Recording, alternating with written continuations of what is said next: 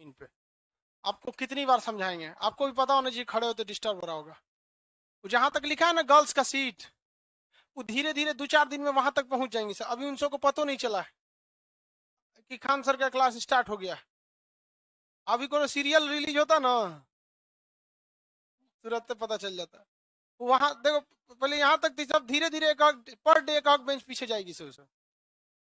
अभी तो आज कई को का व्रत था, अभी नागा मारी है सब जन्माष्टमी की वजह से। जन्माष्टमी का फास्टिंग होता है, वो भी खतरनाक वाला, निर्जला। निर्जला होता है ना? वो वाला जो फास्टिंग होता है ना, वो बहुत नॉर्मल होता है, जिसमें फल उल खा सकते उसमें दिक्कत नहीं है। निर्जला वाला खतरनाक होता है। देखिए वो, इससे पहले के क्लास में हमने आपको अकबर कंप्लीट बता दिया था। बता दिया था ना?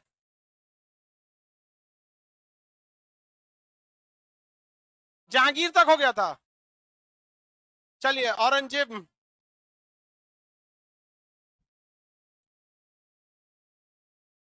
आओ, चलो, बस बस बस, बैरम खान मारा गया था चलिए, वो।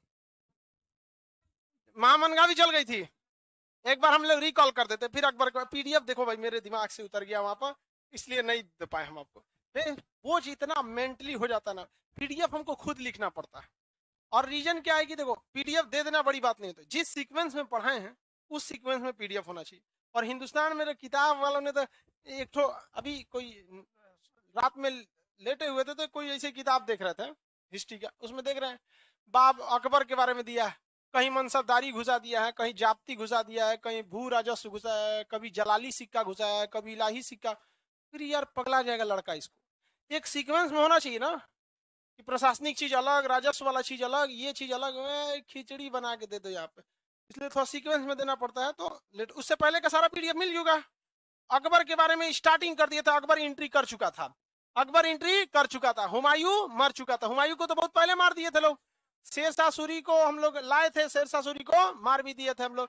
उनतालीस में शेरशाह सूरी ने चौसा युद्ध, चालीस में कन्नौज या बिलग्राम, इकतालीस में गोखर, बयालीस में मालवा तैतालीस में रायसीना, चौवालीस में मेवाड़ पैतालीस में कालिंजर, अपने मर गया पैतालीस में। इस्लाम सा आया, आदिल सा, इन लोग को काम के नहीं रह गए लोग। आप हालाँकि इस्लाम का थोड़ा सा ठीक ठाक भी था, उसमें नहीं रहा।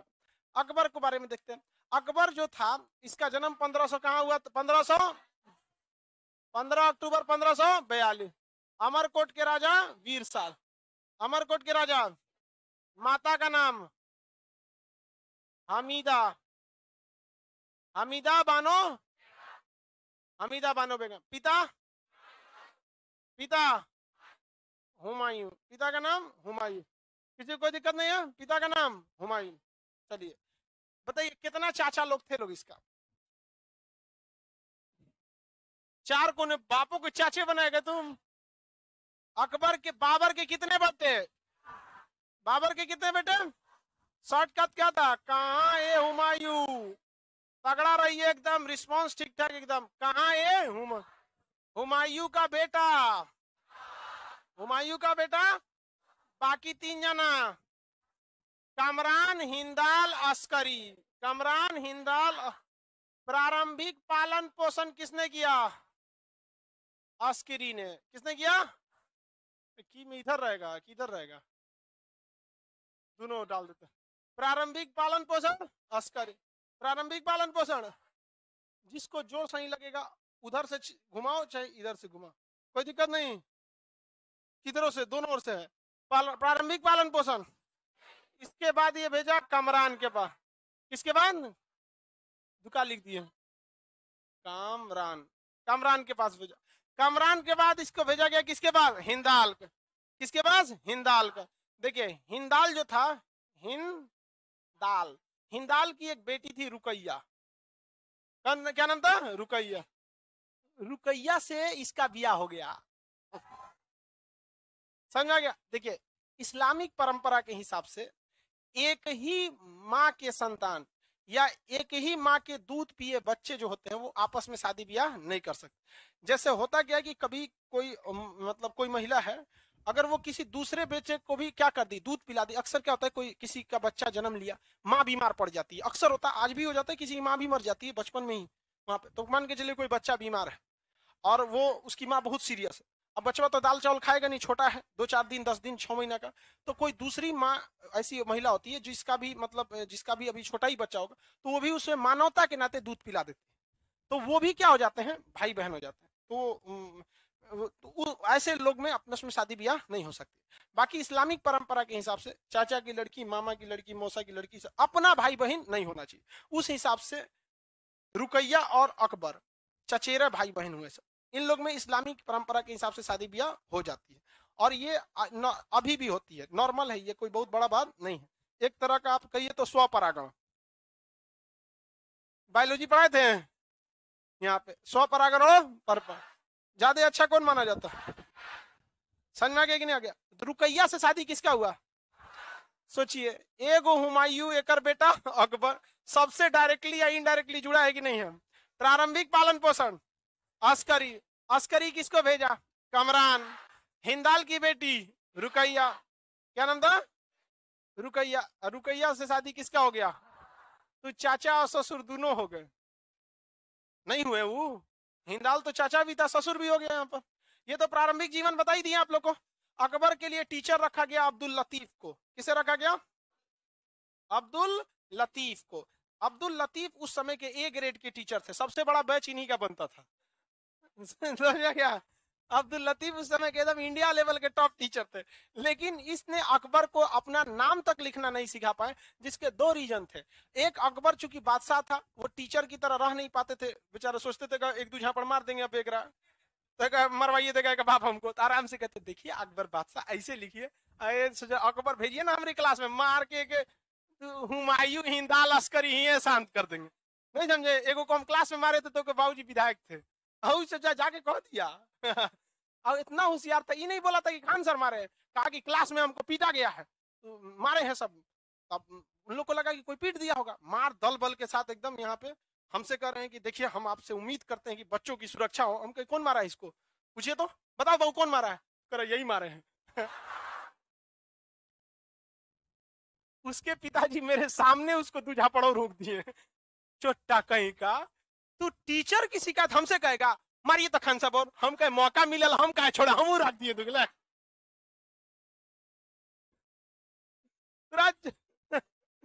यार ये चीज़ है, ये हिंदुस्तान में एक चीज़ परंपरा रही है, गुरु हमेशा गुरु रहा इवन राम जी भी जब लंका गए थे तो रावण को जब मारा गया था तो लक्ष्मण जी जब शिक्षा लेने गए थे तो पहले सीधाने खड़ा हो गए थे। दिया, निकले यार सीधाने खड़ा होंगे हमारे शिक्षा लेना है बैठिए किनारे बताने तो उस सब तो अब्दुल लतीफ एक शिक्षक थे, इनमें कोई कमी नहीं थे। बकलवा मोबाइल रख यहाँ पढ़ाई कर। समझ में गया? बाबूजी, हिमायू ऐसा पैसा ना रखे है तोरा। ना तो ले कोनो रुकैया बैठल है।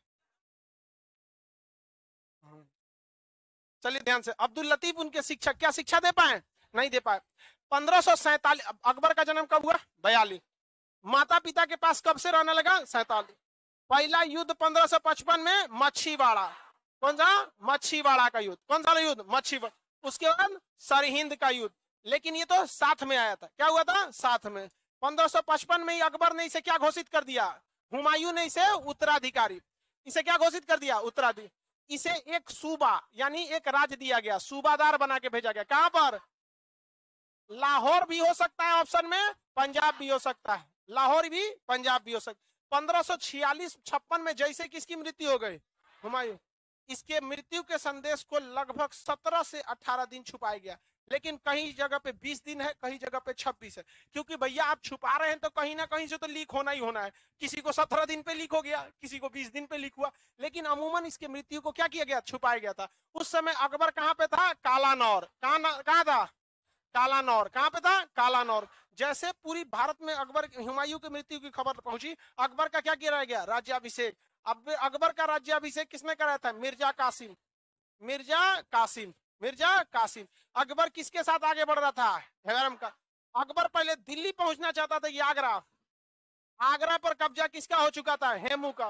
अकबर वहाँ, बैरम खान वहाँ से सेना लेके कहा पहुँचे? दिल्ली। दिल्ली में कब्जा किसका हो चुका था? हेमू का। पानीपत के मैदान में बैरम खान को लौटने की सलाह किसने दिया? तरबी बेग। तरबी बेग को क्या कर दिया? मार दिया। बैरम खान ने इस युद्ध में बहुत ही कुशलता से हेमू को किससे मरवाया था? तीरंदाज। यह युद्ध पूरी तरह से हेमू जीत चुका था, लेकिन एक तीरंदाजों ने मार के पूरा खेल बदल दिया और वापस सिंहासन पर कौन बैठ गया? अकबर। कब बैठा? पानीपत के सेकेंड वार के बाद। पानीपत के सेकेंड युद्ध के बाद। पंद्रह कब बैठा? पंद्रह पंद्रह से 1560 तक ये किसके नेतृत्व में शासन किया? किसके नेतृत्व में? बैरम खान के नेतृत्व में। किसे? बैरम खान के नेतृत्व में। लेकिन महामनगा के चढ़ा बैरम खान जाति से सिया या सुन्नी? बैरम खान और इसके बीच में कौन सा युद्ध हुआ? तिलवाड़ा का युद्ध। तिलवाड़ा का युद्ध कब हुआ? 1500 इस युद्ध में कौन जीत गया? अकबर। बैरम खान के सामने कितने ऑप्शन? या तो क्या बन जाइए? जागीरदार। या तो कहा चले जाइए? हज। कहा चले गए? हज पर। गुजरात में इनकी हत्या करा दी गई। किसने संदेश भेज दिया था? कि बहुत सेना का युद्ध लड़ा है, मरवा दो इसको यहाँ पर। समझा गया? बैरम खान की पत्नी का नाम सलीमा बेगम। बैगम खान की पत्नी का नाम सलीम। पहले के वक्त में क्या होता था कि अगर किसी का पति मर जाता था ना, आज के वक्त में भी विधवाओं का हालत बहुत अच्छा नहीं है। तो उस वक्त में पति वगैरह क्या हो जाता है? मर जाता था तो अकबर अकबर के समय में या उस समय तो बहुत ही अत्याचार हो जाता था। नौकर होकर दासी बना दिया जाता था। तो अकबर के लिए चूँकि बैरम खान जो थे, वो क्या थे? एक बहुत ही योग्य थे। बहुत सम्मानीय थे। अब बैरम खान नहीं रहे, दूसरा अकबर से विवाद भी हो गया था। तो इनकी पत्नी जो थी, क्या नाम था? सलीमा बेगम। सलीमा बेगम। अब सलीमा बेगम की स्थिति तो खराब हो जाएगी। तो अकबर ने एक सांकेतिक निकाह कर लिया। ध्यान से समझिए, क्वेश्चन पूछेगा। रुकैया से इन्होंने शादी किया था। बट एक होता है ना कि फॉर्मली शादी कर लेते हैं। कि भैया, हम आपको शादी इसलिए कर लेते हैं ताकि आपको दर्जा किसका मिल जाएगा? रानी का। तो बैरम खान के न रहने के बाद भी आपके साथ कोई भी महल में सम्मान मान सम्मान में कमी नहीं आएगी। और रानी का पावर बहुत रहता था। समझ में आ गया कि नहीं आ गया? तो रुकई सलीमा बेगम से एक सांकेतिक निकाह किसने कर लिया? अकबर। सांकेतिक निकाह का मतलब समझते हैं, फाइन, बस पेपर वर्क अभी भी भारत के बहुत सारे लोग सांकेतिक निकाह करते हैं। दो चार सांकेतिक निकाह मतलब दो चार ठो हमारे जान पहचान के लड़के थे। साथ में हमारे पढ़े। और उनका ना जॉब के लिए वो लोग कनाडा गए। कनाडा में पता चल रहा है उनकी सैलरी इंडिया के पैसे के हिसाब से दी जा रही है। लेकिन वो कह रहा है कि भाई, हमको इतना ही सैलरी, अगर ये कनाडा के पैसा में दे देना तो हम यहाँ इंडिया में बारह लाख रुपया महीना कमा लेंगे। अभी हमको देता है दो लाख रुपया महीना। हम कहे तो ठीक तो है भाई, दो लाख। करे कि देखो, दो लाख महीना हमको भी मिलता था। तब तक जब तक हमको नहीं पता था कि हमारे काम का यहाँ बारह लाख मिल रहा है। तो उसका कहना था कि अगर हमको ये सैलरी कनाडा के हिसाब से मिल जाए ना तो ठीक है। कनाडा गवर्नमेंट कह रही है कि हम आपको क्या करेंगे? सैलरी आप जिस नेशनल हैं, उसके महँगाई वगैरह के हिसाब से, उसके लिविंग स्टैंडर्ड के हिसाब से हम आपको सैलरी देंगे, क्योंकि दो लाख में जितनी ज़िंदगी आप इंडिया में जिएँगे महीना के हिसाब से, उतनी वैसी ज़िंदगी अगर कनाडा में जीना है तो आपको कितना सैलरी होना चाहिए? बारह तो कनाडा गवर्नमेंट क्या गलत कर रही है? वो तो बैलेंस करके रख रही है ना, कि जो उसका, कनाडा का आदमी है, उसको वो स्टैंडर्ड की ज़िंदगी जीने के लिए कितना चाहिए? बारह और अगर उसी का कर्मचारी इंडिया का है तो वही स्टैंडर्ड, ई दिमाग लगाया। कनाडा की एक महिला के पास गया। उसने उससे कहा कि तुमको हमसे शादी कर लो, हम तुमको इतना पैसा देंगे पेपर वर्क पे। वो ओकरा से कर देगी ठीक है, हम शादी कर लेंगे, हमको सैलरी का बीस परसेंट चाहिए। कहा, कोई बात नहीं, हमारी सैलरी सीधे डबल हो जाएगी, बीस परसेंट तोला में देने में क्या जा रहा है? ठीक है, उससे ही क्या कर लिया? भाई पेपर शादी कर लिया, और कोर्ट में उसके हिस्से से उसको कनाडा की क्या मिल गई? नागरिकता सैलरी कितनी हो गई? बारह लाख।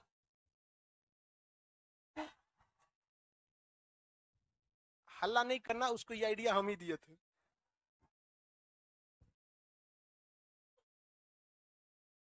समझ गया कि नहीं आ गया? और अमेरिका में शादी ब्याह ये सब कनाडा वनाडा में ये सब बहुत उस सब में शादी ब्याह का मतलब कुछ मतलब ही नहीं होता। वहाँ तो ये हाल हो जाता है कि लोग मरने मरे हुए आदमी से शादी करते हैं। वहाँ पे मरे हुए लोग से।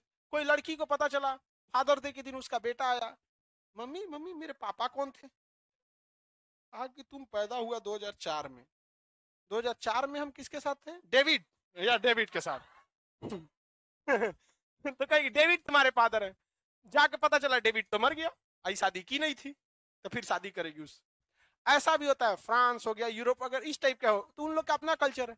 तो जिस तरह से वो, उसने क्या किया, एक पेपर वर्क में क्या कर लिया शादी ब्याह कर लिया और उसके बाल बच्चे भी हैं सब तो वहाँ पे कोई दिक्कत नहीं है। बट इंडिया में क्या है कि पॉलीगेमी बैन कर दिया गया अभी इंडिया में। इंडिया में काफ़ी मुश्किल हो जाए।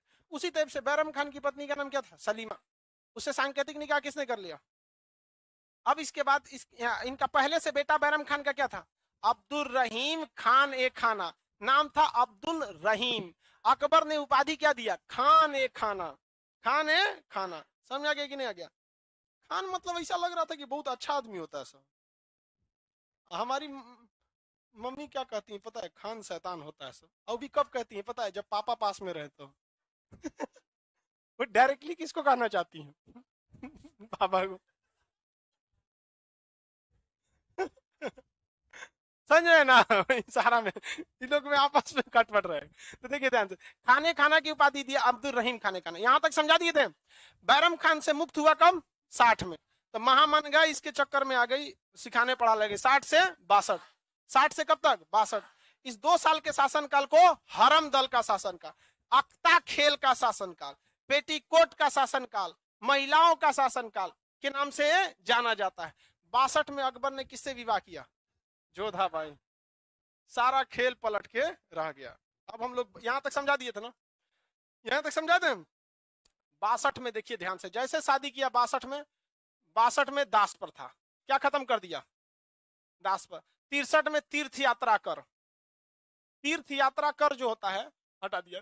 जोधा भाई ने, बासठ में शादी हुआ था जोधा भाई का। जोधा भाई बहुत ही दयालु हृदय की थी। लड़कियाँ सब दयालु होती हैं सब, जब तक घुसियाई नहीं है। चलिए ध्यान से।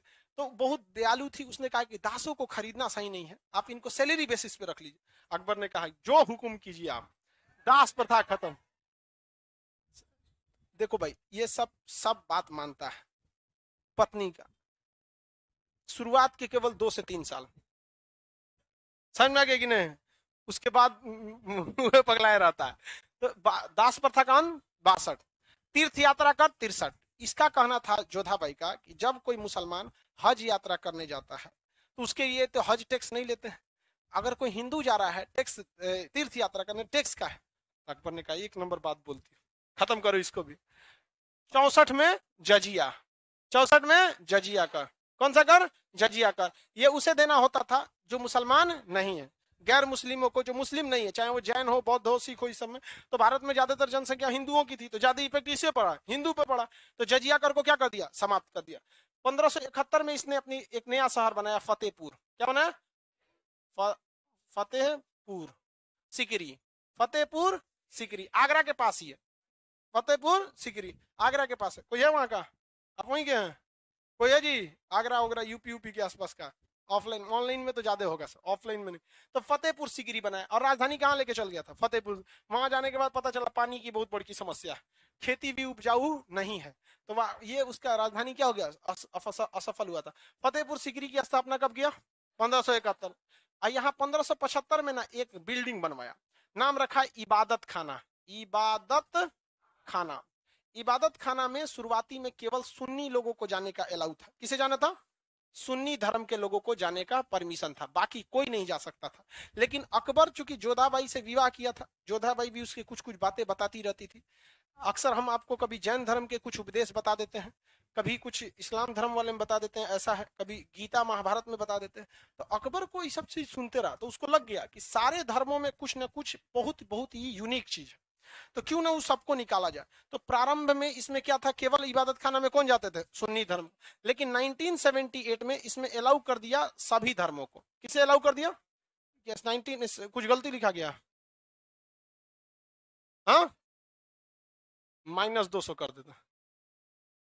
सभी धर्मों को बृहस्पतिवार के दिन। बृहस्पतिवार के दिन मतलब क्या होता? अरे यार, गलती लिखा जाता है हमसे। समझाते के वक्त में फ्लो टूट जाता सभी धर्मों को अलाउ किया कब? 1778 में। कब अलाउ किया? 1578 ईस्वी में। वहाँ देखिए, पंद्रह बस तीन साल बाद। और कहा कि हर आदमी बृहस्पतिवार के दिन, यानी थर्सडे के दिन मिलेगा इबादत खाना में बैठेगा, सब पर क्या किया जाएगा? डिस्कस किया जाएगा। किस धर्म में कैसा, किस धर्म में कैसा, क्या चीज़ अकबर का यह नीति सुलह कुल कहलाया। क्या कहलाया? सुलह, नहीं कह देना सुलह, करा देना। सुलह ए कुल। क्या कहलाया? सुलह ए कुल। और इसने अपने आप को अमीरुल मोमिनीन कहा। क्या कहा? अमीर उल मोमिनीन। मोमेनीन। भाई, ये बहुत बड़ा उपाधि है। बहुत बड़ा। ये केवल और केवल ये उपाधि, देखिए, इस्लाम धर्म के हिसाब से अल्लाह ने अपने जो भी संदेश भेजवाए संदेश भेजवाए, पृथ्वी तक वो पैगाम भेजने वाले को पैगंबर कहा जाता है। सवा लाख के आसपास पैगंबर आए सवा लाख इस्लाम धर्म के हिसाब से। और पैगंबर को बीच में जो पहुँचाने का काम जो करता, पैगंबर तो आ गए ज़मीन पे, जैसे अवतारवाद में था पैगंबर में। तो पैगंबर से प्रिय ईश्वर के लिए इस्लाम धर्म में सबसे बड़ा कोई नहीं है, यहाँ जो ज़मीन पे आए अल्लाह के बाद दूसरा नंबर किसका आता है? पैगंबर का। लास्ट पैगंबर कौन थे? मोहम्मद साहब। तो चूँकि ये लास्ट थे तो इनका और मतलब वैल्यू हो जाता है। हज़रत मोहम्मद साहब, इनके नाम में आगे तो पूरा नाम लेना होता हालाँकि इस्लामिक परंपरा के हिसाब से जो नियम है, हज़रत सल्लल्लाहु अलैहि वसल्लम, ये नाम है। इस नाम के अलग बोलने पर इस्लामिक नियम के हिसाब से गलत है। लेकिन अब मान के चलिए हम लोग जीएस के क्लास में, इस्लामिक नियम के हिसाब से बोले आपको मोहम्मद सल्लल्लाहु अलैहि वसल्लम पूरा तो ऐसे ऐसे नाम लेने के बाद बोलिए मोहम्मद सल्लल्लाहु अलैहि वसल्लम, उसका मुँह ऐसे चूम लेते हैं लोग। मेरे मुँह से उनका शब्द निकला ऐसे। अब उतना नियम कानून हम करेंगे तो फिर पढ़ा नहीं ना पाएगा आदमी। तो उन मोहम्मद साहब के बाद क्या हुआ ना, खलीफा बन गए खलीफा जो थे, वो मतलब उत्तराधिकारी समझ जाइए तो उनके, वो संदेश को आगे बढ़ाते लगे। और ये कई खलीफा हुए, हज़रत अली, उमर, इसे करके खलीफा हुए। तो जो खलीफा काफ़ी लॉन्ग टाइम तक खलीफा चला, उन्नीस तक में खलीफा थे लास्ट मुस्तफ़ा कमाल पासा। फ़र्स्ट युद्ध के बाद मुस्तफ़ा कमाल पासा को हटा के राष्ट्रपति का पद ला दिया, अंग्रेज़ों ने, इस्लाम में खलीफा का पद समाप्त कर दिया। तो खलीफा जो थे वो इस्लाम में बड़ा नियम कानून मानते थे। वो लोग उपाधि किसे धारण करते थे? अमीरुल मोमिनीन। धारण किसने कर लिया? अकबर ने। तो ये आप, हालाँकि इसका कुछ खास विरोध नहीं हुआ, क्योंकि जिनको भी विरोध करना था, उनको पता था कि अकबर उठाएगा, सीधे काट देगा यहाँ पे। यहाँ नौटंकी करेगा यहाँ पे। अलग तो सुलह है एक कुल। सुलह कुल मतलब क्या? सब में आपस में क्या कराना सुलह कराना। तो अकबर की इबादत खाना बनाने की नीति किस पर आधारित थी? सुलह ए कुल पर। इसने कौन सी उपाधि धारण किया? अमीरुल मोमिनीन मतलब बहुत ही श्रेष्ठ मोमिन। मोमिन, देखिए, इस्लाम में मोमिन किसको कहा जाता है? जो बहुत ईमानदार वगैरह। मोमिन मतलब मुसलमान तो सब लोग लिख सकता है, लेकिन थोड़ा ठीक ठाक रहे, झूठ उठ ना बोले, इंसाफ पे करे तो उसे क्या कहा जाता है? मोमिन। तो अमीरुल मोमिनीन मोमिनीन में भी सबसे अच्छा किसने उपाधि धारण किया? अकबर ने धारण कर लिया था। और यहाँ जब इन्होंने सारे धर्मों के बीच में समन्वय किया तो मारधार होने लगा। क्या होने लगा? मारधार। हम ही सही है, वो गलत है। ये धार्मिक वाला चीज़ में कुछ मनबे नहीं करता है। यहाँ पे कुछ नहीं मानेगा सब, वहाँ पे। अब मार हो गया यहाँ पे। कोनो बतिये नहीं मानता था। तो अकबर को मजबूरी में 1579 में मजहर की घोषणा करनी पड़ी। मज, क्या कैसे लिखाएगा जी? मजहर। किसकी घोषणा करनी पड़ी? मजहर। ये क्वेश्चन पूछेगा भैया, मजहर क्या है? तो देखिए ध्यान से, मजहर क्या चीज़ होता है? आप धार्मिक मामले में देखिएगा ना, चाहे वो किसी भी धर्म का हो, चाहे मुसलमान धर्म के मौलवी साहब हो, हिंदू धर्म के पंडित जी हो, उनका एक जब देखेंगे सब चीज़ चीज़ नहीं हो रहा तो कहेंगे, देखिए, आप जहाँ हैं, वहाँ ठीक है, धर्म के मामले में टांग मत लड़ाइए। मतलब लगेगा कि इनका पर्सनल धर्म है। समझ में आ गया कि नहीं आ गया? भाई आपसे भी गलती हो सकती है या आपसे भी सीनियर हो सकते हैं। आप आराम से कह सकते हैं कि चलिए आराम से बैठ के हम लोग सीनियर से डिस्कस कर देंगे। बट लेकिन ना, वहाँ पे क्या लगा दिया था? Full stop. आप बीच में मत लगे आप वैज्ञानिक हैं, कुछ किए हमसे मतलब नहीं है। हमारे पास सर्टिफिकेट देख रहे हैं हमारा शकल किस तरह है। धार्मिक इंसान अपने धर्म के हिसाब से, पंडित जी हैं तो बड़का चोटी वगैरह रखेंगे वो कह देंगे सीधे। अकबर को भी कह देता था सब। कोई मौलवी साहब थे हाफी जी थे कोई शंकराचार्य लेवल का पंडित जी है, कोई गुरु जी है अलग अलग धर्म का। अकबर को आप बादशाह हैं, सब कुछ सही है, लेकिन धर्म के मामले में आप टांग नहीं लड़ाए। बाजीराव मस्तानी मूवी देखी है? वो कैसे कहता है पंडित जी, धर्म के रास्ते पे जो आएगा, उस तस्वीर का सत्यनाश हो मरवाने के चक्कर में था मस्तानी के। आई तो और लोल थी सच, जब पता थी कि अगर बिया है तो चल गई थी। चलो, हम भी चलेंगे तुम्हारे साथ।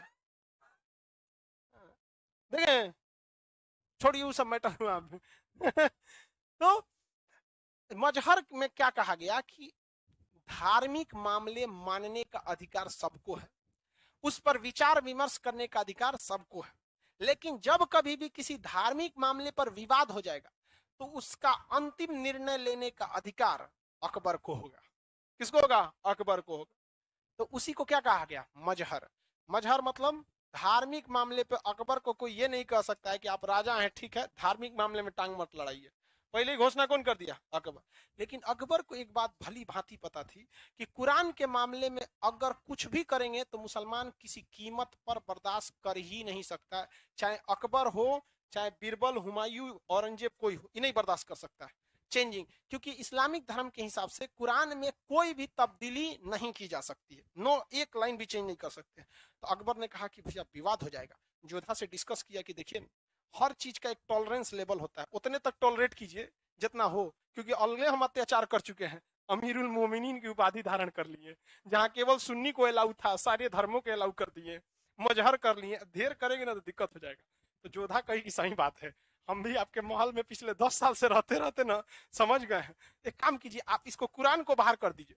तो मजहर में स्पष्ट लिख गया कि धार्मिक मामले पर अधिकार किसका है? अकबर का। अंतिम डिसीज़न किसका है? अकबर का। लेकिन कुरान शरीफ की व्याख्या का अधिकार अकबर को न देकर कुरान का जो ज्ञाता होता है ना, उसे हाफिज कहा जाता है, जिसे पूरा कुरान शरीफ याद हो जाता है। तो वो उसका अधिकार किसके पास रहेगा? हाफिज जी के पास। मुफ्ती उससे भी बड़े होते हैं और उनका अलग अलग डिग्री होता है। कितना होशियारी से काम कर रहा है अकबर देख रहे हैं मतलब उतने दूर तक लेके जा रहा है जहाँ तक में विद्रोह न हो, क्योंकि धार्मिक मामले में कोई किसी को नहीं पूछता है। समझ में आ गया कि नहीं? तो मजहर की घोषणा कब की गई? पंद्रह सौ नवासी में। पंद्रह सौ नवासी। अकबर देख रहे हैं अरे वही सेवेंटी नाइन यार, उनासी। मजहर की घोषणा हो गई। समझ आ गया? अब अकबर ने कहा कि देखो, सारे धर्मों को मिला के एक काम करते हैं। सारे धर्मों में से अच्छाइयों को क्या करते हैं? ले लेते हैं। और इसने पंद्रह में एक नया धर्म बना दिया, दीन ए इलाही। दीन ए इलाही। दीन ए इलाही। इलाही का मतलब होता है एक ईश्वर, भगवान कहिए या ईश्वर कहिए, और दीन का मतलब होता है धर्म। ईश्वर का धर्म। दीन ए इलाही किसने लाया? अकबर ने। दीन ए इलाही, अकबर ने। दीन ए इलाही का कोई ना कोई आपको पुरोहित रखना पड़ेगा। जैसे हिंदू धर्म में ब्राह्मण लोग पुरोहित होते हैं। जो ज्ञाता हो मुसलमान धर्म में मौलवी साहब या हाफिजी पुरोहित होंगे सिख धर्म में वो अपने गुरु, गुरु होंगे उनके जो बड़े से सरदार जी होंगे जिनको जान। तो इसमें किसी ना किसी को रखिएगा ना तो इसमें मेन पुरोहित बनाया गया अबू फजल को। किसे? अबू फजल को। अकबर बहुत करीबी था किसके? अबू फजल को। तो दीन इलाही का प्रमुख पुरोहित कौन था? अबू फजल। इसको मानने वाला पहला हिंदू। कई हिंदू माने कई मुसलमान माने लेकिन पहले हिंदू पहला जो हिंदू था महेश दास यानी बीरबल। क्या नाम था? बीरबल। बीरबल पहला हिंदू था राजपूत जाति से थे, कौन? बीरबल। तो पहला हिंदू कौन था? बीरबल, जिसने इस धर्म को क्या किया था? माना था। हालाँकि ये धर्म ज़्यादा दिन सक्सेस नहीं हुआ और अकबर ने एक नया कैलेंडर चालू किया, इलाही संवत। कौन सा? इलाही संवत। इलाही संवत। अपना अपना अलग अलग कैलेंडर। दुनिया में दस हज़ार से ज़्यादा कैलेंडर है। जैसे अभी हम लोग पूरी दुनिया में सबसे ज़्यादा फॉलो किया जाता है ग्रेगोरियन कैलेंडर कौन सा कैलेंडर? ग्रेगोरियन। ग्रेगोरियन कैलेंडर के हिसाब से आज 30 अगस्त है कि 31 अगस्त? ग्रेगोरियन कैलेंडर के हिसाब से आज दिन 30 अगस्त है। कितना अगस्त? 30 अगस्त है। किसी कोई दिक्कत? किस कैलेंडर के हिसाब से? ग्रेगोरियन। लेकिन वही अब भारत में जो सावन का महीना के बाद भादव आया है, इक्कीस कैलेंडर के हिसाब से शक संवत के हिसाब तो आज क्या, भादव के हिसाब से आज कौन, आज मतलब भादो का महीना है ना? तो महीना है तो आज आठ तारीख है, कोनो तारीख को। तो इसने क्या किया? एक नया कैलेंडर चालू किया। यह सारे धर्मों को क्या करना चाहता था? मिलाना चाहता था। कौन? अकबर। चलिए थोड़ा सा स्टार्टिंग बताइए तो। जोधा से भी सॉरी राजा कब बना? छप्पन। संरक्षक में शासन रहा। छप्पन से साठ। बैरम खान से मुक्त हुआ। साठ। मुक्त होते किसके प्रभाव में आया? महामन। साठ से इसके बाद आजीवन किसके प्रभाव में रहा? जोधाबाई जोधाबाई से विवाह हुआ? बासठ में कौन सा कर? तीर्थ यात्रा तिरसठ में तो नहीं बासठ में दासपत। तिरसठ में तीर्थ चौसठ में जज इकहत्तर में फतेहपुर पचहत्तर में इबादत खान अठहत्तर में सभी धर्मों को सेवेंटी नाइन में मजहर बिरासी में दीन इलाही। तिरासी में इलाही कैलेंडर, तिरासी में इलाही, ये सारे धर्मों को मान, इसके गुरु जी का नाम क्या था? अब्दुल लतीफ। गुरु जी का नाम अब्दुल लतीफ। पहले इबादत खाना में किसको अलाउ था? सुन्नी। बाद में सबको। कितने कब से किया गया इसे हाँ? चौदह सौ? पंद्रह सौ अठहत्तर। कितने, कौन से डे को? बृहस्पतिवार के कब? बृहस्पतिवार। समझ में आ गया कि नहीं आ गया? किसी को कोई दिक्कत नहीं। अकबर सारे धर्मों को मिलाकर सुलह कुल की नीति अपनाया। इसने कौन सी उपाधि धारण किया था? अमीर, अमीरुल मोमिनीन। कौन सी? अमीरुल मोमिनीन। किसी को कोई दिक्कत नहीं। इसके दरबार में हिंदू विद्वान भी रहते थे, जिसका नाम पुरुषोत्तम दास था। क्या नाम था? पुरुषोत्तम दास था। पारसी विद्वान रहते थे। दस्तूर जी राणा। दस्तूर जी राणा। ये पारसी धर्म को मानते थे, एका बीबी ईसाई धर्म को मानते थे शेख सलीम चिश्ती इस्लाम धर्म के सबसे प्रमुख थे। इवन की 500 बीघा ज़मीन, पांचवे चौथे सिख गुरु रामदास को भी किसने दिया था? अकबर ने ही दाम दिया था।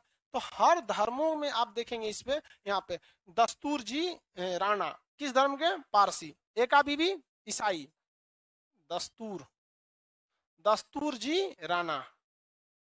पता नहीं, मुरनवर राणा भी आजकल बड़ी फ़ेमस में चल रहे हैं। उनका भी नाम राणा, खैर नाम से क्या मतलब रहता है? ऐसा नहीं कि राणा उनमें भी है तो वो भी पारसी होंगे। दस्तूर जी, राणा, एका बीबी, किस धर्म से? एका बीबी, ईसाई धर्म। दस्तूर जी, राणा, पारसी पारसी दास। हरि विजय सूरी। हाजी हाजी, हरि विजय सूरी, जैन धर्म से। पुरुषोत्तम दास। कौन सा धर्म पुरुषोत्तम दास। कौन से धर्म से? हिंदू धर्म से। पुरुषोत्तम कैसे लिखा है पुरुषोत्तम दास, हिंदू धर्म से। रामदास। सिख धर्म। हालाँकि इनके दरबार में नहीं रहते थे, लेकिन इनका अच्छा संबंध था उनसे। शेख सलीम चिश्ती। शेख सलीम चिश्ती, कौन सा धर्म इस्लाम धर्म से। इतने विद्वान। तो ये आप ही बताइए, सारे धर्मों को लेकर चला कि नहीं चला? सारे धर्मों को लेकर चला था। दस्तूर जी राणा बोलिए तो पारसी। दस्तूर जी राणा एका बीवी साहिब एका बीवी एका बीवी हरि विजय सूरी, जैन धर्म। हरि विजय सूरी सनातन यानी हिंदू धर्म से, पुरुषोत्तम दास सिख धर्म से, क्या रामदास इनके दरबार में रहते थे? नहीं। अच्छा संबंध था लेकिन। शेख सलीम चिश्ती, मुस्लिम। शेख सलीम चिश्ती के नाम पर ही अपने बेटे जहांगीर के बचपन का नाम क्या रखा था? सलीम। क्या नाम रखा था? सलीम। इसके दरबार में सारे धर्म के लोग रहते थे। याद रखिएगा क्वेश्चन अक्सर पूछता है हरि, विजय सूरी या पुरुषोत्तम दास से। इन दो लोगों से अक्सर क्वेश्चन पूछता है। हालाँकि रामदास के बारे में तो हमने आपको सिख धर्म जब पढ़ा रहे थे, तभी बताए थे, चौथे सिख गुरु रामदास को अमृतसर नामक तालाब के लिए पाँच सौ बीघा ज़मीन किसने दिया था? रंजीत सिंह बोलता हैं। अकबर। तो सोने की चादर चढ़ाए थे। बताइए, दीन इलाही के बारे में कंप्लीट समझ में आ जाएगा ना? अरे भाई, ये दिक्कत नहीं है तो आगे बोलिए, आगे बताते याद रहेगा ना? अकबर ने बहुत काम किया है, इसलिए इसको तैयारते चलिए अच्छा से, न तो गड़बड़ा जाएगा यहाँ पे। जन्म बोलिए तो पंद्रह सौ माता पिता से मिला। पहला युद्ध पंद्रह सौ, पचपन। और पचपन में ही दूसरा। उत्तराधिकारी बना, पचपन में ही। राजा बन गया, छप्पन। बैरम खान के साथ कितने वर्षों तक शासन साठ तक। तिलवाड़ा के युद्ध में किससे मुक्त हो गया? बैरम हरम दल में कितने साल? साठ से? बासठ में किससे विवाह हो गया?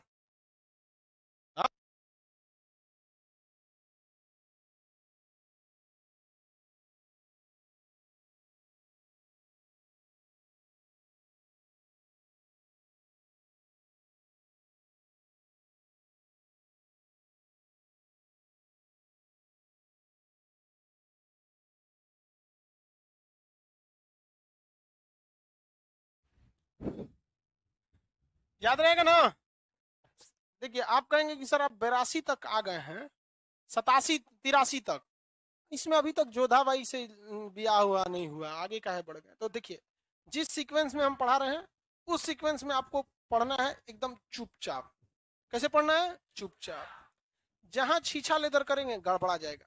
पहले उसके सामाजिक सुधार देख लेते हैं, फिर उसके भू राजस्व का सुधार देखेंगे। सिक्का वगैरह क्या लाया? ये क्या लाया? लास्ट में उसमें कौन सी लाएँगे? अकबर की युद्ध नीति। युद्ध कराते हुए चलेंगे। लास्ट में मार डालेंगे उसको। सिंहासन दे देंगे किसको? जहांगीर को। देखो समझ में आएगा। ससुरा युद्ध करा दिए, मार डाले, उसके बाद सुधार पढ़ा रहे हैं। दिमाग खत्म उसमें एकदम ताज़ा ताज़ा रहेगा। अकबर मराया, जहांगीर आ गया। एकदम ताज़ा ताज़ा एकदम। समझ में गया? हाँ। दस्तूर खान जी किससे थे? दस्तूर खान कह रहे दस्तूर जी राणा, पारसी। दस्तूर जी राणा पारसी थे तो ये ये इसके अकबर की ये क्या थी? धार्मिक नीति। अकबर की धार्मिक नीति समझ गए? क्वेश्चन कहेगा अकबर की धार्मिक नीति किस सिद्धांत पर आधारित थी? तो सुलह ए कुल। कौन सा? सुलह ए कुल। अकबर ने धार्मिक नीति के बाद खुद की उदारता को दिखाते हुए कौन सी उपाधि धारण किया था? अमीरुल मोमिनीन। क्या धारण किया? अमीरुल मोमिन। अमूमन ये उपाधि कौन धारण करते थे? राज ए, खलीफा। और ये अपने नाम का खुतबा भी पढ़ाया। क्या पढ़ाया? खुतबा। मुस्लिम है जी आप में कोई? खुतबा क्या होता है? खुतबा नहीं पता? नमाज़ से पहले पढ़ा जाता है खुतबा। तो मेंबर पे जो पढ़ा जाता है। मेंबर समझते हैं किसको बोलते हैं? सीढ़ी, जैसे मस्जिद में ना स्टेज नहीं होता है। इतना बड़ा स्टेज नहीं होता है। उसमें तीन चार सीढ़ी बनी होती है ऊंचाई पे। जैसे ये सीढ़ी है ना, ऐसी सीढ़ी बनी होती है। उसको क्या कहा जाता है? मेंबर। तो उसमें खुतबा पढ़ा जाता है। अब खुतबा जो होता है नमाज़ के बाद या पहले, किसी नमाज़ में पहले और किसी में एक बादों में पढ़ा जाता है। ईद में, ईद उजहा वगैरह में कभी बाद तो वो जो खुतबा होता है तो खुतबा के साथ अकबर ने अपने बारे में भी क्या करता था, पढ़वाता था। अब भाई जेनविन है कि वो राजा है तो अपना प्रचार के लिए करेबे करेगा। तो उसने क्या किया? खुतबा भी पढ़वाया। तो क्या बाकी का खुतबा चेंज कर दिया? ईद में जो खुतबा होता है या खुतबा मतलब समझिए वो संदेश है तो नमाज़ से पहले या बाद में क्या किया जाता है, बताया जाता है। तो अकबर ने अपने नाम का भी क्या बताया खुतबा। सारे राजा अपने नाम का क्या पढ़ाते थे? खुतबा। नमाज़ जब हो जाता था तो नमाज़ के बाद राजा नमाज़ के बाद जो मौलवी साहब थे, वो राजा के तारीफ़ में कुछ कुछ बातें कहते थे। समझ में गया कि नहीं तो इसने अमीरुल मोमिन खुतबा की उपाधि, अकबर की धार्मिक नीति हो गया। अकबर की अब हम लोग समझते हैं कि प्रशासनिक नीति, किस तरह से शासन किया? कहीं भी शासन करने के लिए आपको पैसे की ज़रूरत होती है। किस चीज़ की ज़रूरत? पैसा। खुदबा उदबा वाले में कोई दिक्कत नहीं ना हुआ है? जी तो घेर देगा सब हमारा। वित्त नीति। कौन सी? वित्तीय नीति। वित्तीय नीति इसकी जो थी, ये सेम टू सेम शेर सासुरी पर थी। शेर सासुरी ने भी क्या चलाया था? रुपया। किस चीज़ का था? और क्या चलाया था? तांबा। दाम सॉरी दाम। ये दो सिक्के किसके समय चालू थे? रुपया किसका था? दाम किसका था? अकबर ने भी इसे क्या रखा? कंटिन्यू रखा। अकबर ने भी कंटिन्यू रखा। फ़र्क ये था कि अकबर के समय में एक रुपया, यानी रुपया मतलब चांदी वाला, एक रुपया मतलब एक एगो चांदी का सिक्का, इसका वैल्यू चालीस दाम के बराबर था। किसके दाम के बराबर? चालीस। यानी चालीस गो अगर आपके पास दाम दाम मतलब आप हैंडीकेप में है? नहीं, ये हाँ। आप ही को कर रहे हैं। हैंडीकेप है? आपका आज फ़र्स्ट क्लास है। हाँ शकले देख के लग गया आप वरना हम आपसे सवाल पूछने वाले थे, क्या बताइएगा आप दाम कौन चीज़ होता है? दाम किस चीज़ का बना था? तांबा तो चालीस गो आप तांबा का सिक्का इकट्ठा कीजिए, उससे अच्छा आपको एगो चांदी का कर दीजिए। तो अकबर के वक्त में एक रुपया कितना बराबर? लेकिन एग्जामवा में क्वेश्चन पूछ दिया था, बीपीएससी में लड़का का भूत चढ़ गया। पूछा, शेर सासुरी ने रुपया तथा दाम चालू किया किस अनुपात में? लड़का पगला गया। अच्छा यही क्वेश्चन अगर अकबर के वक्त में पूछता कि किस अनुपात में तो एक अनुपात चालीस। एक अनुपात चालीस। अब ऑप्शन में लड़का देख रहा है कि ये कौन चीज़ है? ये तो हम चांबा, सिक्का ही पढ़े थे मैथ कहाँ से घुसा गया? मैथ नहीं है रेशियो पूछ रहा है। तो अकबर के वक्त में रेशियो कितने का चल रहा है? एक अनुपात चालीस। लेकिन यही शेर सासुरी के एक रुपया चौसठ के बराबर था। कितने का? चौसठ दाम का। कितने दाम के? चौसठ। तो कितना रेशियो होगा? एक रेशियो चौसठ। एक रेशियो चौसठ। समझ एक रेशियो चौसठ किसका? शेर सासु। एक रेशियो चौसठ। और एक रेशियो चालीस। किसका बबुआ याद रहेगा? किसी कोई दिक्कत नहीं ना? अब समझते हैं, अकबर ने देखा कि भैया हम अगर ऐसे रखेंगे तो हमारा तो नाम ही नहीं होगा। खान सर, जब वो पढ़ाएँगे तो बोल देंगे कि अकबर ने शेर सासुरी वाला का कॉपी कर लिया। कहा, कोई बात नहीं, हम एगो गोल सिक्का निकालते हैं, एगो आयताकार सिक्का निकालते हैं। तो दो गो अलग डिज़ाइन का, एगो क्या निकाल दिया? गोल सिक्का, एगो आयताकार सिक्का। समझ में गया? इसका नाम रखा इलाही सिक्का। कौन सा सिक्का? इसका नाम रखा जलाली सिक्का। समझ में गया? इलाही और जलाली। कभी कभी बीपीएससी जो है या यूपीएससी पगलाते हैं सब कभी कभी उन सब पगला जाता है। ऐसा क्वेश्चन पूछेगा, अकबर के समय गोल सिक्कों को क्या कहा जाता है? लड़का माथा पकड़ लेता है और खास करके नया लड़का, हिम्मतें हार जाता है तो गोल सिक्का क्या कहलाया? इलाही सिंह। और चौपटा सिक्का, जलाली सिंह। इसमें जलाली ज़्यादा नहीं चल पाए। आप ही बताइए, सिक्के जब भी चलते हैं, गोल सक्सेस होते हैं। रीजन क्या है? वो कहीं भी रह जाते हैं। ऐसे सोचा कोना कोनी में फंस जाएगा। जेब में रखेंगे कोना कोनी में फंस जाता है। तो जलाली मार्केट पकड़ पाया। मार्केट में कौन पकड़ा। हाँ इलाही। अब जरा सोचिए। अकबर के समय, या आप भी रहते तो ज़्यादा हाईलाइट आप दाम को करते, रुपया को करते, या जलाली इलाही को करते? जलाली और इलाही। क्योंकि अगर ये हाईलाइट होता तो नाम किसका होता? अकबर का होता। तो अकबर ने कहा कि देखो, चालीस गो दाम, ले ससुरा क्या हो गया जी इसको। मिट गया।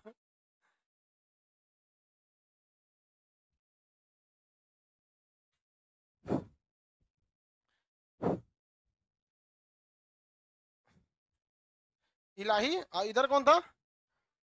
जलाली जलाली सिक्का। यहाँ क्या था? वन रेशियो चालीस। ये दाम था हाँ? चालीस दाम था। ये एक रुपया था, चौसठ। एक रुपया हो गया, चौसठ। किसी कोई दिक्कत नहीं? चलिए, ध्यान से समझते हैं। अकबर ने कहा कि चालीस गो दाम लाइएगा तो क्या मिलेगा? एगो रुपये। और हैसन हैसन दस गो रुपया लाइएगा ना तो एगो इलाही बनेगा क्या बनेगा? एक इलाही। ऑटोमेटिक आगे कौन चला गया? इलाही सिक्का। चालीस तो तांबा का सिक्का यानी दाम लाएँगे तो वो किसके बराबर माना जाएगा? एक चांदी का सिक्का यानी एक रुपया बराबर। एक रुपया माने एगो चांदी का सिक्का। और ऐसे इंसान दस गो चांदी का सिक्का लाइएगा, क्या बनेगा? एक इलाही सिक्का। तो एक इलाही बराबर दस रुपया। क्या हो गया? रुपया। तो इलाही और रुपया में रेशियो हाँ? एक रेशियो दस। याद रहेगा? अकबर की कौन सी नीति? ये सिक्का वाला, वित्तीय व्यवस्था। अकबर की कौन सी व्यवस्था? वित्तीय व्यवस्था। आगे बढ़ाए ना। टैक्स वगैरह। देखिए, अकबर इतना होशियारी से काम किया। देख रहे हैं कितना सिस्टमेटिक कोई भी काम कैसे कर रहा है? एकदम सिस्टमेटिक ढंग से कर रहा है। किसी को दिक्कत? रुपया और दाम, क्या अकबर ने निकाला था? क्या उसने बंद भी किया? उसने उसको कंटिन्यू लेकिन रेशियो क्या किया? चेंज कर दिया। एक रुपया बराबर कितना दाम? चालीस दाम। लेकिन एक रुपया बराबर कितना दाम अगर कह देगा शेर सासुरी में तो? कितना दाम? चौसठ। गोल सिक्का। आयताकार। जलाली सिक्का सक्सेस हुआ। एक इलाही सिक्का में कई रुपया। हाँ? उस हिसाब से एक इलाही सिक्का में अकबर में दाम कितना हो जाएँगे? कितना दाम हो जाएँगे? चार सौ।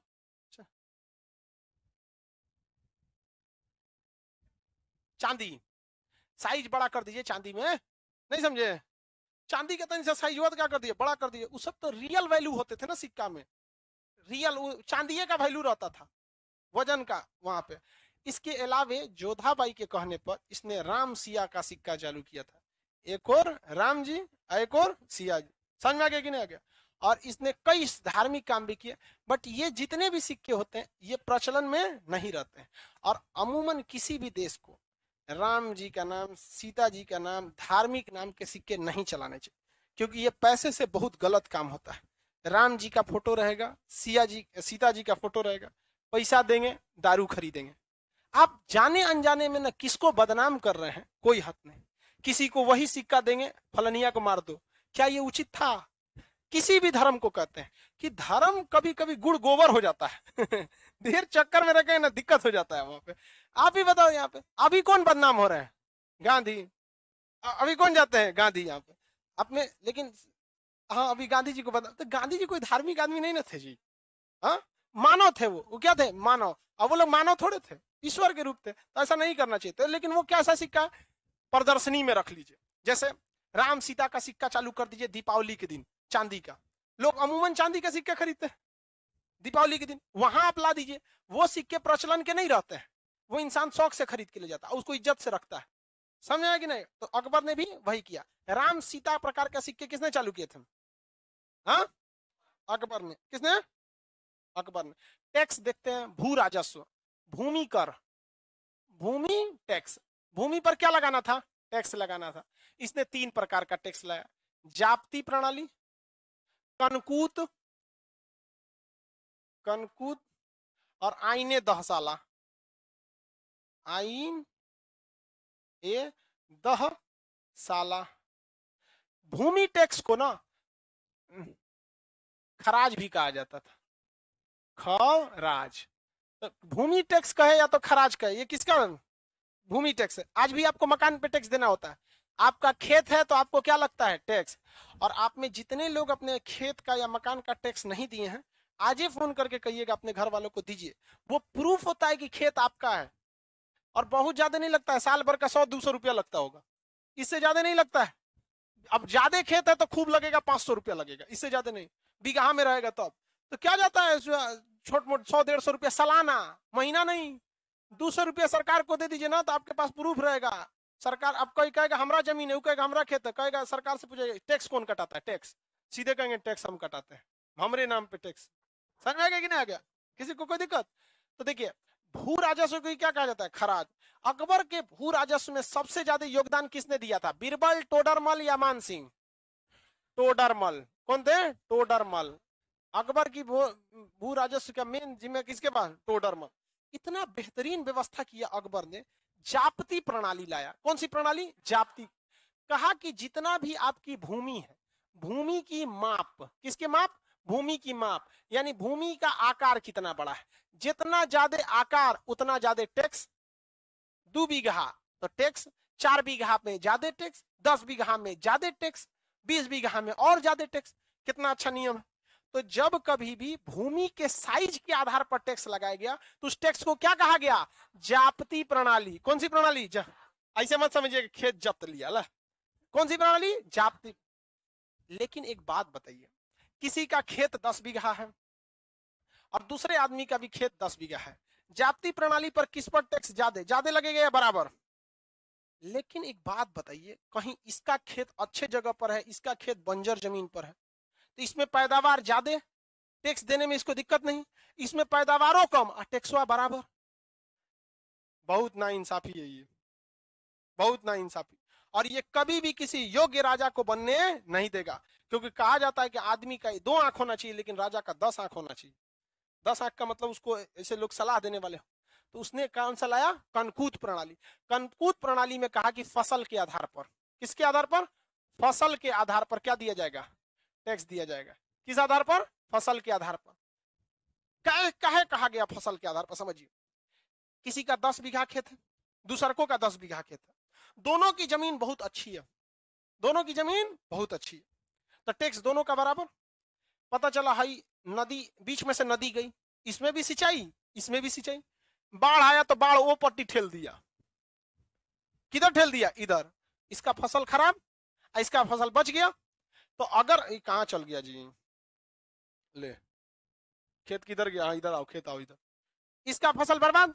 अब अगर जापती प्रणाली पे देखते हैं तो भूमि का माप, दोनों का माप क्या है? सेम कैटेगरी भी ज़मीन की क्या है? सेम उपजाऊ है। इसका खेत में तो दह गया। तो क्या इस पर वो किसान अच्छा टैक्स दे पाएगा? बेचारे पे तो ज्यादती हो जाएगी। क्या राजा से लड़ लेगा कि नहीं देंगे? राजा को पता क्या रहता है? आपको कौन हो रहा है, मोदी को पता है। हा? तो देखने भी नहीं आए बस सबका साथ, सबका विकास। कहाँ से देख पाएँगे? वहाँ पे। तो इसमें कौन सा काम करेगा? कन, कनकूत पद्धति। कौन सी? कनकूत प्रणाली। फ़सल कितना हुआ है? फ़सल कितना हुआ है? तो काटने से पहले उसका एक कर्मचारी था जिसको आप आके दिखा देंगे कि देखिए दह गया बाढ़ में है बचल है। यहाँ पे कम टैक्स इस पे ज़्यादा टैक्स। टोडर मल लेकिन इसमें बेईमानी होगा कि नहीं होगा? धीरे से काट लेगा फ़सल या कुछ भी हो सकता है। तो इसके लिए क्या किया? टोडर मल ने आईने दहसाला लाया। ये सबसे परफेक्ट कानून था सबसे कहा कि देख भैया, जैसे ये 2021 चल रहा है तो उसने कहा कि देखो 2010 से लेकर अभी के वक्त में हम समझा रहे हैं, क्योंकि उस समय 1500 करेंगे तो आपको दिमागे घुस जाएगा। 2010 से लेकर 2020 तक, कितना साल हो रहा है? 10 साल। कितना साल हो रहा है? इस 10 साल में तुम बताओ, हर साल तुम्हारा कितना फ़सल हुआ है? हर साल बाढ़ में खराब नहीं होगा? किसी साल अच्छा होगा, किसी साल खराब होगा? तो 10 सालों का औसत निकालो कि कितना फ़सल हो रहा है। और उस औसत के आधार पर टैक्स बाँध दिया जाएगा कि आपको इतना ही देना है। सबसे परफेक्ट कौन रहेगा? यही वाला। राजा का माथा ना नोचाएगा कि अगली बार फ़सल अच्छा कि, कोना का खेत बंजर, कोना यूरिया छीटा है कि नहीं, कोना के खेत में गधा खान दिया उसको। बोलते हैं ना कब कब लीलगाय घुस जाती है खेत में। अखा के खत्म कर देती है। तो इसके लिए राजा जिम्मेदार है। नहीं ना? समझ में आया कि नहीं आ गया? राजा हर चीज़ के लिए तो जिम्मेदार नहीं होगा। तो टोडरमल ने क्या किया? पिछले दस सालों के उपज का रिकॉर्ड मंगाया। पिछले दस सालों में जो टैक्स दिए थे, उसका रिकॉर्ड बना और उसके एवरेज बाँध दिया कि अब आपको क्या करना है? इसी आधार पर आपको आगे टैक्स देना है। तो बताइए, कहेगा कि औसत प्रणाली किसे कहा जाता है? आईने दस साल, आईने दस साल, पिछले दस साल का। यही हुआ था लॉकडाउन में बिजली बिल के साथ। आईने दहसाला को किसने अपनाया था? बिजली विभाग ने। बिजली बंद था सब कुछ कोई दिक्कत नहीं था यहाँ पे। एक एवरेज में दे दिया गया था बिजली बिल। हमारा बिजली बिल एवरेज थमाया गया था मार्च, अप्रैल, मई, जून, जुलाई। इस पाँच महीने में बताइए क्या कैंपस में कोई लड़का पढ़ने आया था? ये सफ़ाई जब हो रहा था ना क्लास में तो चिड़िया घोसला बनाए थे सब इसमें। कोई यार आता ही नहीं था। बिजली बिल जानते हैं कितना आया था? नब्बे हज़ार। पाँच महीना का तो एवरेज कितना मांग रहा है? नब्बे हज़ार। बिजली बिल। यहाँ पे इतना खतरनाक। ये लोग गरीब इंसान को जान ले लेंगे लोग। समझ आ गया कि नहीं आ गया? नब्बे हज़ार। बहुत तगड़ा रेट होता है यहाँ पे। किसी का एक का तो अठारह उन्नीस लाख आ गया था। खैर, वो गलती से आया था। वहाँ पे जो लंबा आ जाता है। तो आईने दस साल का मतलब समझ आ गया कि नहीं आ गया? क्या हो जाता है? एवरेज। क्या चीज़? क्या एवरेज कितने सालों का एवरेज ये अकबर की कौन सी व्यवस्था होगी? भू राजस्व कौन सी व्यवस्था? भू राजस्व व्यवस्था हो किसी को कोई दिक्कत नहीं। आगे बढ़े। अकबर ने एक बहुत ही सुधारवादी काम किया। इकता व्यवस्था के जगह पर इसने जागीरदारी व्यवस्था कर दिया। अब ये इकता क्या है? जागीरदारी क्या है? पहले के राजा सब बड़ी बड़ी बेवकूफ़ी किया था सब। अभी टाइम हो गया, अब इसको आगे का क्लास में बताएँगे। ठीक है, कल पीडीएफ भी दे दें। ये सब समझ में आ रहा है कि नहीं आ रहा है जी?